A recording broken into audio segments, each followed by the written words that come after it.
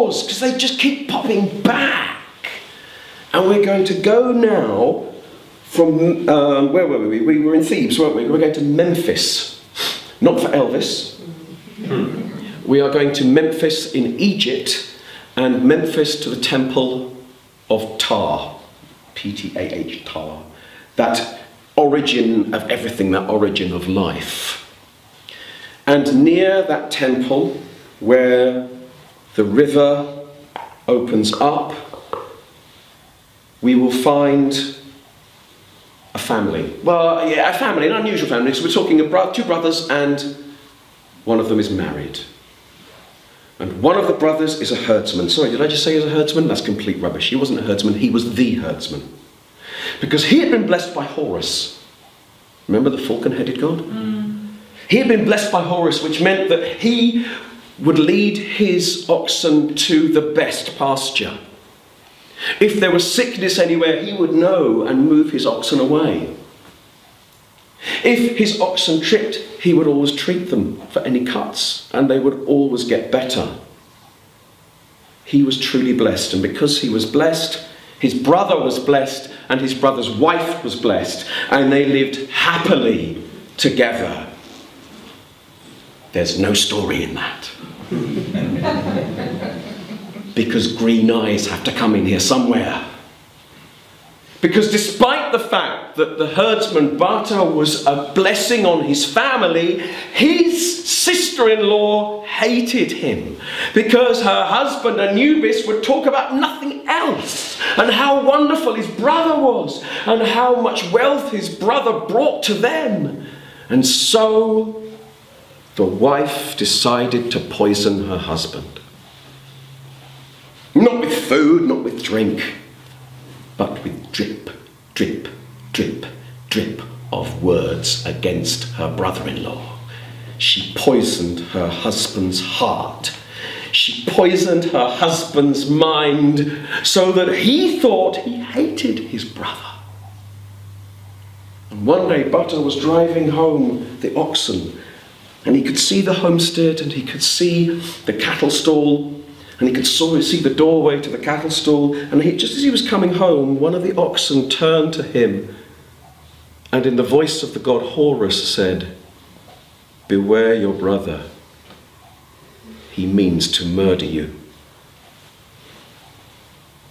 And Bata looked around and looked at the cattle stall, and under the door, between the door and the ground, he could see a pair of feet, his brother's feet. And so he turned and ran. Anubis heard him turning, realized his prey was running from him. He pushed open the door and ran after his brother, brandishing a dagger. Bata ran from his brother, pleading for his life. But Anubis was getting closer and closer. They were jumping over irrigation ditches, and Horus Horus, who had blessed Bata as a herdsman, saw this, and so he opened one of the irrigation ditches so that it was impossible to jump it, and he flooded it with water teeming with crocodiles so that Anubis could not get near Bata. And Bata sat where he was safe and held his head in his hands and said, What have I done to you? Why are you doing to this? And Anubis poured out all the poison that his wife had poured into his ear. Bata said, No, brother, it's not true. And he went through all the times he'd shown his love for his brother and his sister in law, all that he'd done for them, and nothing he had asked of them. And it didn't take long for Anubis to be sitting the other side of that irrigation ditch with his head in his hands, sobbing at what he'd done. And he begged his brother to come back. And Bata said, No, I cannot.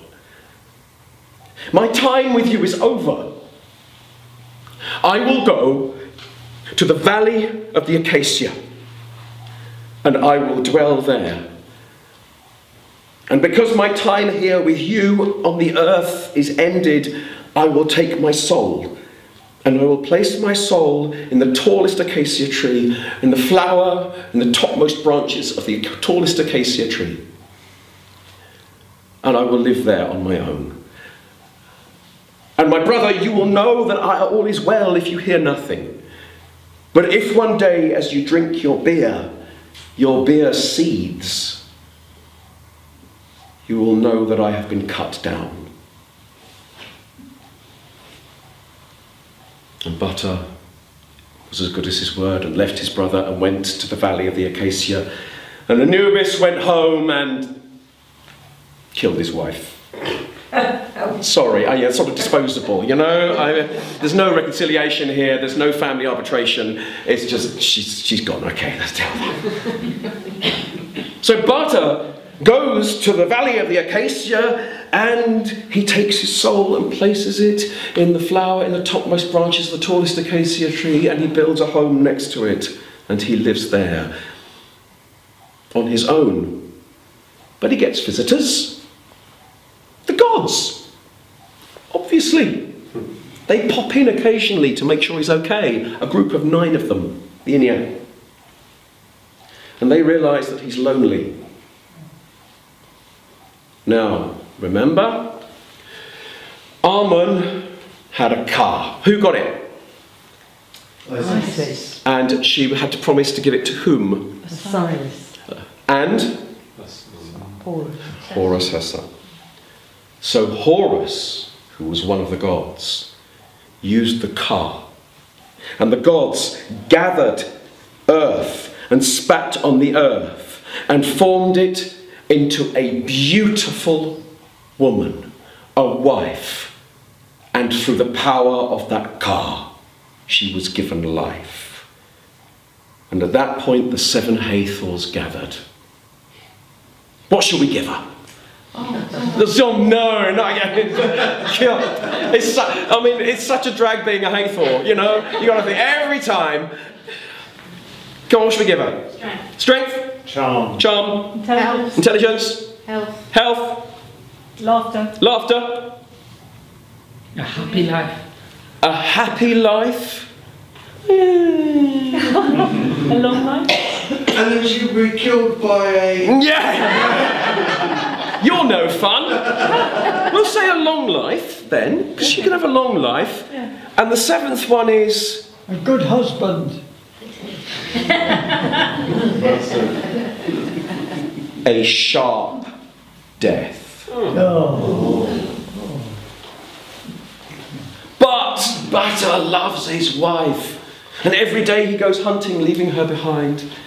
And of course, when she's on her own, she's thinking, well, there's a valley. There's the acacia tree. I know my husband's spirit, his soul is in the top of that tree. I wonder what else there is. And so she asks Bata what else there is. And he says, Well, beyond the valley there is the Nile, which is dangerous. The Nile would surely try and snatch you because you are so beautiful. And day after day he went off hunting, leaving her. And the more he told her she couldn't go to see the Nile, She wanted to go. And one day while he was out hunting, she slipped out of the valley down to the Nile and she saw this breathtaking stretch of water.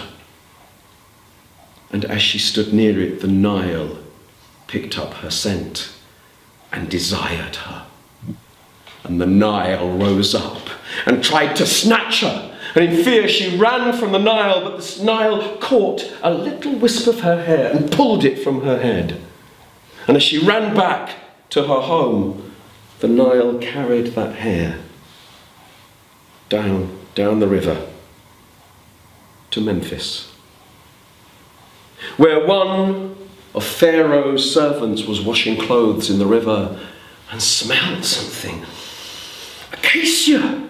Extra- And then the servant saw the hair floating past and realized the smell was coming from the hair. So, with a bowl, lifted the hair in some Nile water and took it to Pharaoh. And Pharaoh smelled the acacia.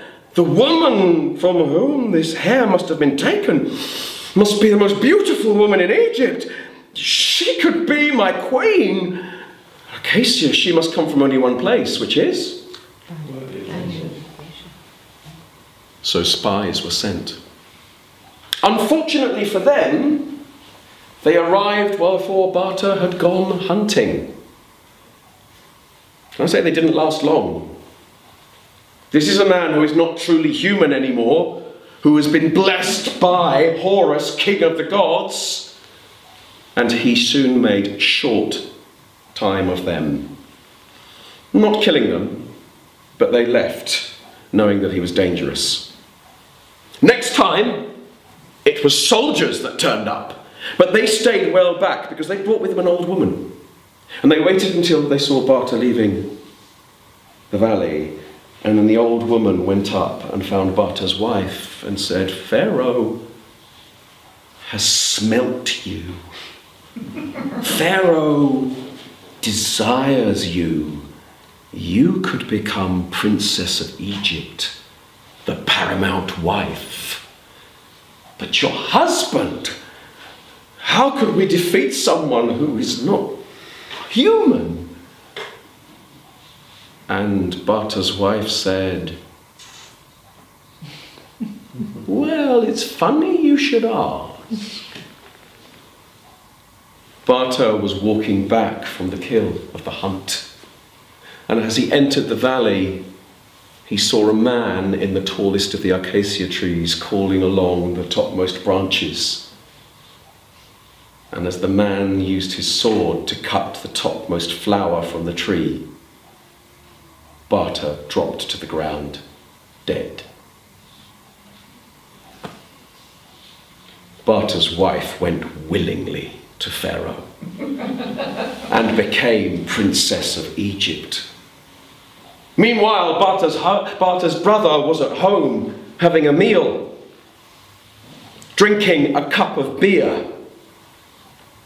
Richard, you're an expert on this, I feel. Beer. Absolutely. Absolutely, absolutely. So, Only for scientific. science, obviously, obviously, research, research. Research. Um, so, I'm not a great expert on beer. I understand sometimes it's got a head on it and sometimes it hasn't, and temperature and all those kind of things. Is it normal to have a rolling seethe as if it's boiling? No. Right. Because Anubis's beer was seething on a rolling boil. Which means Brother's dead. Bata is dead. Bata, he was warned. You've got to keep up. There's a quiz later. I'm warning you, all right? There's a written test. And so Anubis dropped his food and ran to the valley of the Acacia. And in the valley of the Acacia, near the entrance of the valley, he found the body of his brother. And he carried it and sat down with the body under the tallest of the acacia trees. And he took a cup and poured some water into his cup and drank, with memories of his brother. And he picked up one of the seeds, one of the acacia seeds from the ground, and dropped it in his water and watched it swell. And as it swelled, Bata's chest swelled, and he started to breathe again. And then life came to him and he sat up. And Anubis was amazed, and Bata said, No, no, no, no, no. I cannot stay here. This is only temporary. I will appear to you as a bull, a bull so white, not a single black hair upon my body. You must take me to Pharaoh and give me as an offering, and Pharaoh will reward you. So, then there was this bull, this white bull, and Anubis took Bata the bull to Memphis and presented him to Pharaoh, and he was rewarded. And everyone was amazed at this beautiful white bull, not a single black hair upon its body. And they took it to the temple, and people gave it offerings. And at this time, Pharaoh's new wife, his new princess of Egypt, felt stirring in her stomach, and she knew that she was with child. And so Pharaoh and his wife went to the temple and gave offerings to the white bull. Pharaoh gave offerings to the white bull and bowed in gratitude. His wife went up and gave offerings and bowed in gratitude, and as she bowed, she heard the bull say, I am he you would murder. I am your husband, Bata. She left the sanctuary and went outside to her husband, the Pharaoh, and she doubled over in agony and screamed and rolled on the ground. And Pharaoh said, What is wrong, my wife? And she said, Oh, you must promise to do something for me. You must help me, or I will lose this child. And he said, I will promise anything. I will do anything for you. And she said, Give me the liver of the white bull. Pharaoh's heart was torn in half. This sacred bull, what could he do? And so the bull was slain. And the blood and the liver filled a bowl. And the body was carried through the temple with the blood and the liver. And as they passed through the gate of the temple, there were two great stone pylons. And as they passed them, a drop of blood fell on each side. That night, two trees grew fully grown where the drops of blood had fallen. Miraculous trees! And for the months of the Princess of Egypt's pregnancy, Egypt was successful in every endeavour. And people realised that these trees had to be a blessing upon Egypt. And so, when it was almost time for the princess of Egypt to be confined to prepare to give birth, she and her husband went to pray at the temple and they sat on thrones between those two fully grown trees. And as they sat there, one of the trees leant over and said to the princess, I am he you would murder. I am your husband, Bata.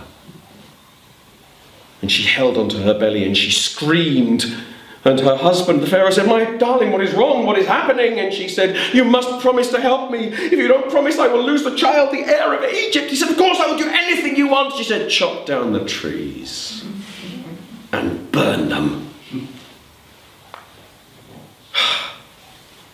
Pharaoh's heart was now torn in four because Egypt had been prosperous with these magnificent and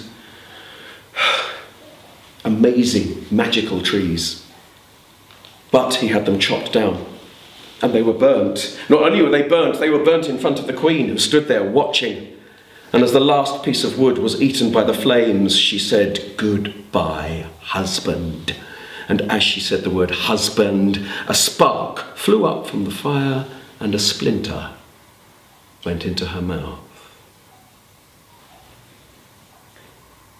She gave birth to a son who was named Prince of Cush, heir of Egypt. And he grew up to be a strapping boy. We won't do the seven Hathors for him, it's fine.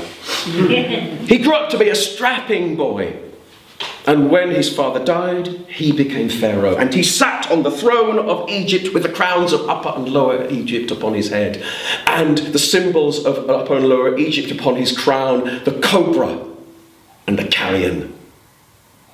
And he sat there, and his mother knelt before him and placed her hands in his hands to swear allegiance. And as she swore allegiance, he leant forward and said, I am he you would have murdered. Husband, Bata. And the seven Hathors were right. She did have a long life, but she also had a sharp death. And Bata, embodied as the Pharaoh, ruled justly and wisely for many years. And why wouldn't he? With his brother as his chief advisor. And that's one of the most famous myths, legends of ancient Egypt. And we've looked at stories, listened to stories about.